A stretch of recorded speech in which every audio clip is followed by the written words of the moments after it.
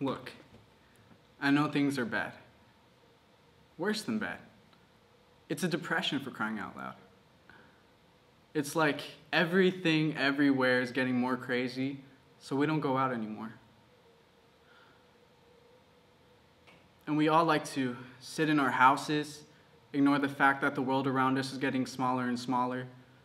And we like to tell ourselves, it's okay, at least if I'm alone in my living room, I could distract myself from what's happening outside the world with my TV and my computer and just, I won't say a word about what's happening. Please just leave us alone. Well, I'm not going to leave you alone. I need you all to get mad. I don't want you to protest. I don't want you to riot.